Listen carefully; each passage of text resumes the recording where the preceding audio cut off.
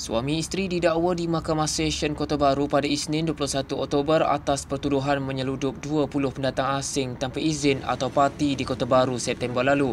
Bagaimanapun tiada pengakuan direkodkan daripada tertuduh Mahusin Sulaiman 48 tahun dan Mahfuzah Mat Isa 38 tahun di hadapan hakim. Mengikut pertuduhan, tertuduh didakwa melakukan penyeludupan migran seramai 20 orang warga Myanmar berusia antara 20 hingga 50 tahun di sebuah rumah di kampung Tok Leber Beta pada 24 September 2019. Pertuduhan itu tertuduh didakwa mengikut Seksyen 26A Akta Anti Pemerdagangan Orang dan Anti Penyeludupan Migran 2007 dan dibaca bersama Seksyen 34 Kanun Kesesaan.